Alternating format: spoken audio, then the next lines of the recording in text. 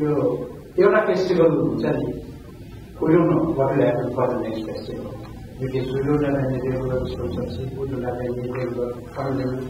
त्यस्तो चाहिँ अवस्था छ every time start from scratch तर हामीलाई गर्व के कुरामा छ भने pride fact we are able to hold festival of international standard, which is attracting every year more and more uh, interest. For instance, this year we got interest from including about 76 countries and over 300 films. The sheer number of the interest is mind-blowing for a festival like this. At least, you see, those so many countries, or the filmmakers from so many countries, thought of India. They took their time to fill up the form, online or physical form, and send their films to Nepal. Out of which, films from 37 countries have been selected for screening. Uh, 15 films on competitive section, on international section, competitive section, and 48 films on non-competitive section. We have a separate Nepal panorama section, and under that section we will be showing 15 Nepali films by young upcoming Nepali filmmakers. Our opening film this year will be Last Honey Hunter, previous Honey Hunter film by made by Eric Valley, a French journalist, photographer, filmmaker.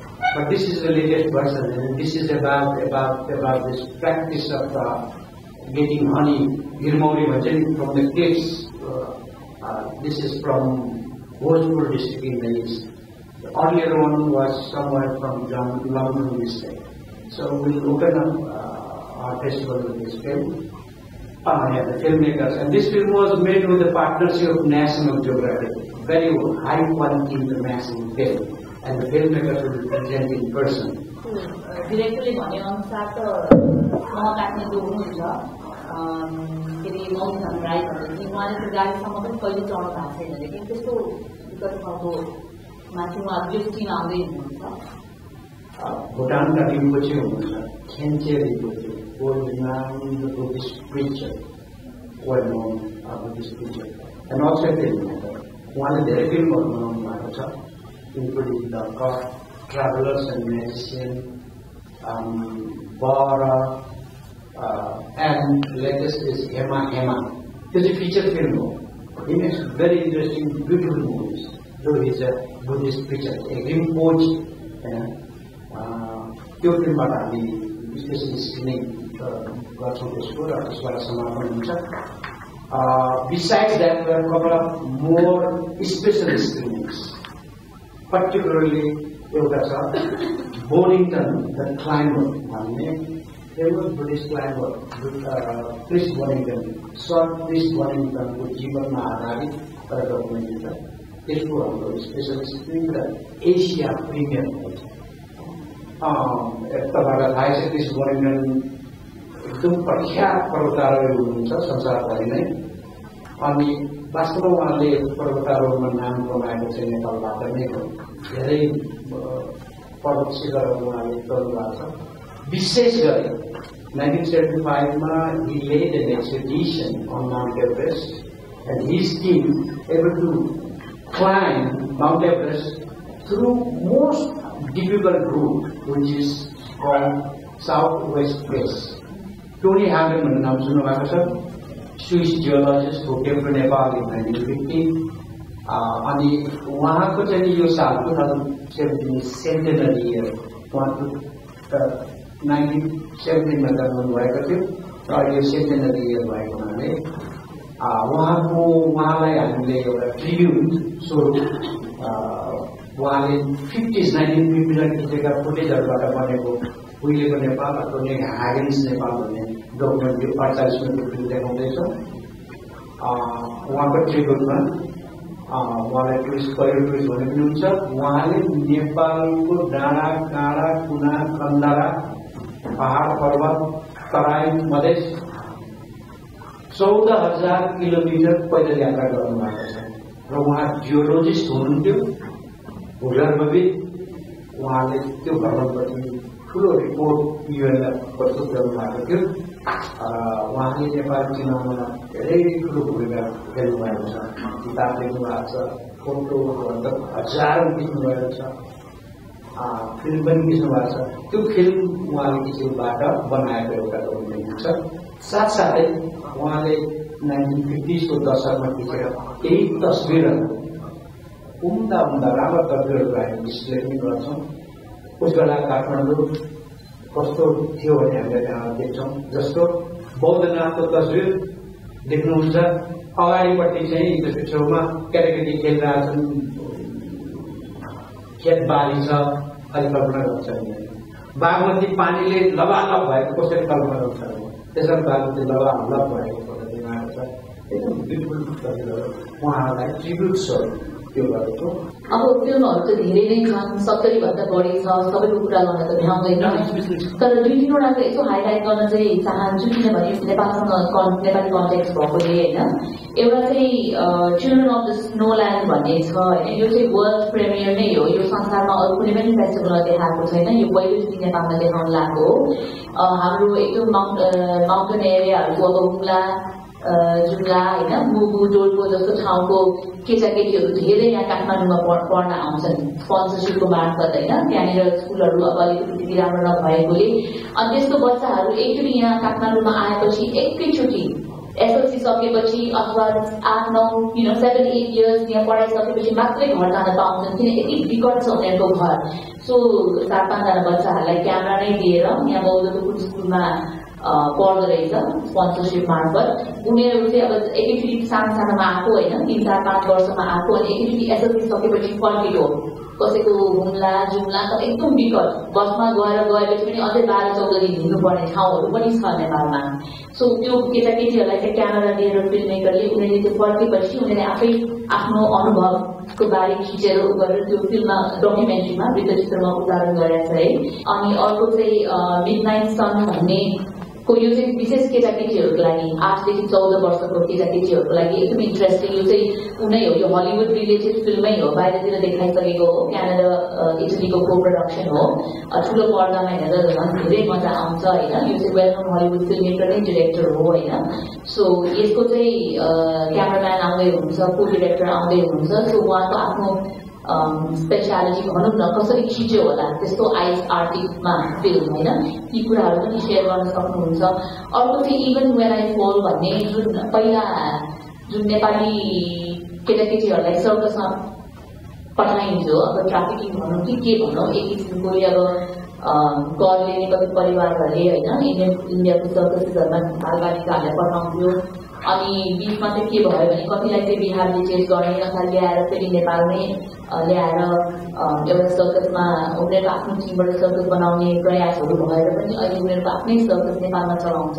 So ती केटाकेटीहरू जुन अब केटाकेटीमा गएको अहिले आएर बिहा विवाह भएर उनीहरूको आफ्नो केटाकेटीहरू छन् तर यहाँ नेपालमा आएर उनीहरूले आफ्नै किसिमले सर्कस सुरु गरेका छन् सो उनीहरूको पनि कथा छ कि सो बेसिकली हामी फिल्ममा पहाडी मुलुकको मात्रै होइन not just about mountain area तर अल्सो इस्युज के इस्यु बेस्ड डकुमेन्ट्री फिल्महरू होइन नेपालमा अहिले कन्टेम्प्रेरी नेपालमा के के कुराहरू चाहिँ जल्दो बल्दो इस्युहरू छ त्यो पनि यो सत्तरीवटा प्लस फिल्मको मार्फत हामी झल्को दिन चाहन्छौँ होइन अनि त्यसबाहेक अलिकति के भन्नुपर्दाखेरि फिल्म हेर्ने बाहेक हामीले चाहिँ नेपाली फिल्म मेकरहरूलाई होइन लाई पनि उनीहरूको प्राविधिक होइन? अनि स्टोरी टेलिङ मार्फत होइन? कसरी इम्प्रुभ गर्ने त? किन हामी धेरै नेपाली फिल्म मेकरहरूले फिल्म पढेको हुँदैन कलेज गएको हुँदैन टेक्निकल उहिलेको हुँदैन तर चासो चाहिँ छ नि। अहिले डिजिटल टेक्नोलोजी जब एउटा क्यामेरा लिएर जसले पनि यसो खिचेर एउटा सानो फिल्म बनाउने प्रयास भइरहेछ स्मार्टफोनबाट गर्छ। सो त्यसलाई हेरेर पनि हामीले फिल्मले त्यस्तो फिल्म मेकरहरूलाई विशेष गरी धेरै पत्रकारै देख्छु म किनभने नम्बर वान पत्रकारहरू नै एक किसिमले एउटा इस्युलाई समातेपछि लेखेपछि होइन म तपाईँ यो भिडियोमै उतार्न चाहन्छु भन्ने चाहना देखेको छौँ हामीले होइन सो उहाँलाई पनि अलिकति कसरी एन्करेज गर्ने टेक्निकल नलेज कसरी गर्ने भनेर हामीले यो किप टप ल्याब भन्ने चाहिँ हामीले औपचारिक रूपमा फर्मली चाहिँ तिन चार वर्षबाट चाहिँ अलिअलि सपोर्ट गर्दै आएका थियौँ विभिन्न पत्रकारहरूलाई अथवा फिल्म मेकरहरूलाई होइन डकुमेन्ट्री बनाउनु। तर लास्ट इयर चाहिँ हामीले फोर्मली नै सुरु गऱ्यौँ। अनि त्यो किम टक ल्याब इज को डिरेक्टर चाहिँ हाम्रो सपना साथीजी हुनुहुन्छ। सो बेसिकली हामीले प्रोजेक्टहरू लिएर उहाँहरूलाई गाइड गर्ने कि मेन्टर गर्ने त्यो काम हुन्छ। किम अब ल्याब भनेपछि अब के अरे वृद्ध चित्रको प्रयोगशाला भनौँ न। Please at Kumarian Hall B. It's an opportunity um, for not only the filmmakers who we work with to develop their pitches and work on the presentation, but also for the audience members to learn how something like this transpires. It's something that is that was started, um, I think, by the BBC with something called the Good Pitch, and it's kind of caught on um, worldwide, and it's a really um, interesting and energetic way of experiencing, um, I guess, KMFF two thousand सेभेन्टिनको यो app हो होइन यता चाहिँ तपाईँले फिल्मको सेड्युलदेखि लिएर त्यो फिल्मको सिनप्सिस डिरेक्टरको नाम डिरेक्टरको बायोग्राफी सबै पत्ता लगाउन सक्नुहुन्छ होइन तपाईँ फिल्महरू हेर्दै हुनुहुन्छ भने आफूले कस्तो लागेको छ होइन फेसबुक ट्विटर जसरी नै तपाईँले यता फोटो पोस्ट या पोस्टै पनि गर्न सक्नुहुन्छ र सेड्युलमा चाहिँ हाम्रो यता यो रिमाइन्डर छ होइन। तपाईँले यदि कुनै आफ्नो मुभी हेर्न मन लागेको छ भने अब जस्तै मलाई शक्तिशाली इन्फोर्न भन्नेमा इन्ट्रेस्टेड छु भने त्यो रिमाइन्डर मैले त्यहाँ राख राख्न सक्छु। त्यसले चाहिँ मलाई पछि नोटिफाई गर्छ त्यो फिल्म सुरु हुनुभन्दा दस मिनट पन्ध्र मिनट अगाडि। र अर्को यो इन एप मेसेजिङ च्याट हो होइन।